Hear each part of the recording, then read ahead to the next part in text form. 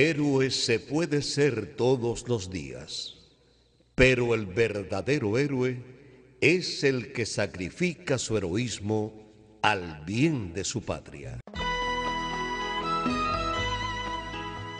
Los últimos soldados de la Guerra Fría.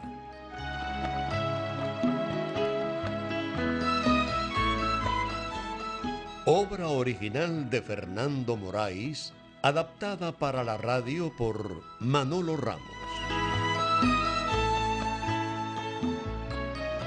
Asesor Amado Agramonte. Dirección Carlos Alberto Valdivia.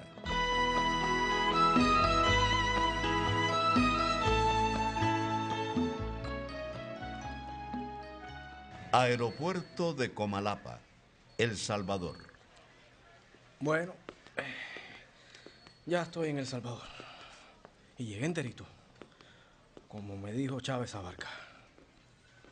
¡Ey! Cruz León, espera ahí. Al reconocer la voz de quien lo llama, Ernesto Cruz León se vuelve como movido por un resorte. Chávez Abarca. Efectivamente, el también llamado Panzón lo recibe con una sonrisa en los labios. Lo hice, Abarca. Lo hice. Lo sé, lo sé. Hasta aquí llegó el ruido de las piedras que trajo la crecida del río. ¿Y entonces? Nada. Te ganaste limpiamente el dinero. Vamos a un lugar adecuado para pagarte. ¿Un lugar? Claro. No pensarás que te voy a dar 30 mil colones prometidos aquí, en medio de la calle. Además, debemos hablar. Tengo buenos planes para ti, Cruz León. Pues, ¿vamos entonces? Bien, ahí tengo el carro esperando. Ven. Tuviste mucha suerte en encontrarme, ¿sabes? Mucha suerte.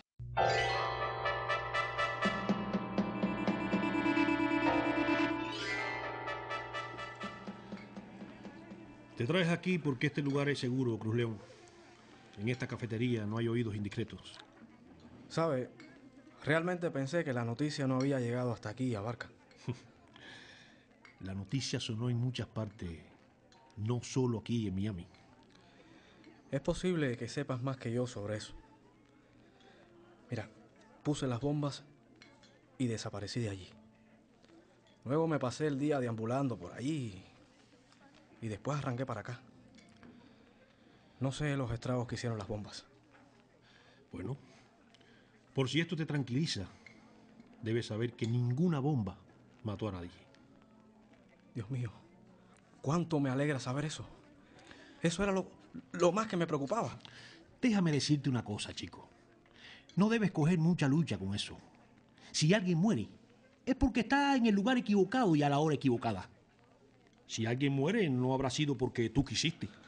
Pero bueno, cuéntame más sobre los estragos que hicieron las bombas. ¿Sabes algo más? Claro que sé. Según la prensa, los daños en el Capri fueron materiales. Ascendieron a unos 50 mil dólares. Oye, ¿te imaginas el trabajo que le cuesta al gobierno cubano y su gente reunir esa cifra a base de turistas? ¿Y, y en el Nacional? ¿Qué pasó, Abarca? Bueno, allí la cosa fue mayor. La carga de C4 desaminó pedazos de cristal por todo el lobby central y causó heridas a una cocinera cubana y a tres turistas extranjeros que salían del elevador en el momento de la explosión. Un jamaicano y un mexicano sufrieron heridas leves. Y la chilena María Angélica Pinochet fue herida en una pierna. Pero, ¿te sabes, te sabes hasta los nombres? claro. Oye, ¿te imaginas las veces que leí esa noticia? Abarca, desde tu punto de vista, ¿cómo crees que salió todo? No, no. Para mí la misión fue completada con éxito. El objetivo era ese precisamente. Aterrorizar a los turistas extranjeros. Quiero decirte que los amigos de Miami están muy contentos con tu trabajo en Cuba. También me dijiste que deseabas hablar conmigo. ¿Sobre qué? Por ahora solo quiero preguntarte algo. ¿Estarías dispuesto a volver a Cuba para hacer algo parecido? Sí. Ahora te digo como me dijiste un día. Puse las bombas Y regresé enterito. Y el dinero me hace falta.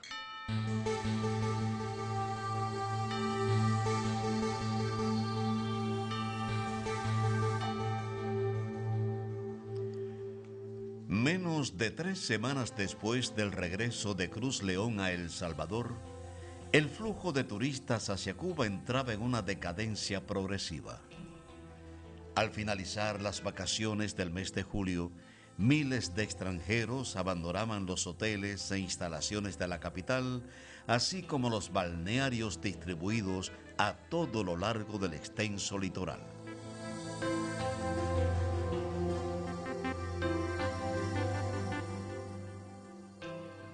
El amanecer del día 5 de agosto de 1997 despierta a Olga Salanueva con las suaves palmadas que le da su esposo René en el rostro. René, ¿qué pasa? Vístete lo más rápido posible y vamos a tomar el auto. Tengo algo muy importante que decirte.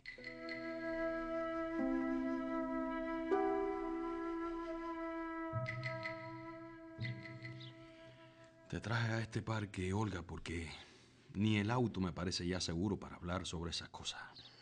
¿Qué problema hay? Las explosiones en los hoteles cubanos continúan, Olga. ¿Qué? Sí. Ayer hubo otra explosión en el Meliaco Iba. La bomba explotó a eso de las 7 y 30 de la mañana. Según la prensa, los especialistas cubanos determinaron que pusieron el artefacto debajo de un sofá de cinco plazas. La onda expansiva lanzó el mueble contra el techo, abrió un hueco en la pared donde estaba colocada, diseminó los pedazos de vidrio en todas direcciones y dejó en estado de pánico a los turistas. Ay, René, ¿y hubo heridos? Milagrosamente no. No hubo daño humano, pero sí material. Además, tan pronto la noticia de la, de la explosión esa fue conocida por la prensa internacional, decenas de operadoras turísticas de varios países se comunicaron con Sol Meliá para cancelar los paquetes de viaje hacia Cuba. ¿Te imaginas el daño que le hará esto a nuestro país? El turismo es ahora la principal fuente de ingresos de divisas. Malditos terroristas. Lo peor es que van a salirse con la suya si no damos pronto con la mano que está detrás de todo esto. Deben ser eh, Orlando Bosch o Luis Posada Carriles ese. Ellos odian demasiado a la revolución cubana. Sí, no dudamos que esos terroristas confesos deben estar en esto. Pero hay razones sobradas para pensar que sus tentáculos se han extendido fuera de los Estados Unidos. ¿Qué quieres decir? Puede ser que quienes estén poniendo esas bombas sean latinoamericanos, Olga. Y vamos a hacer todo lo posible por dar con quienes lo hacen.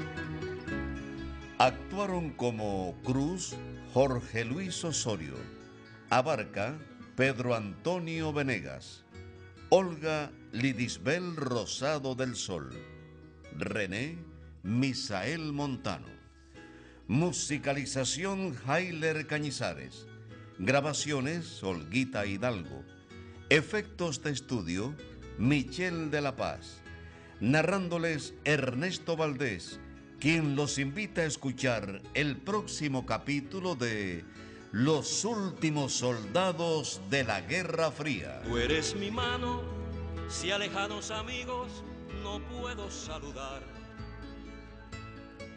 Tú eres